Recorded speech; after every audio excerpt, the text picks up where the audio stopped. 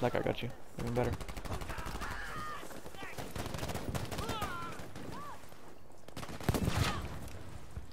Uh, I just forced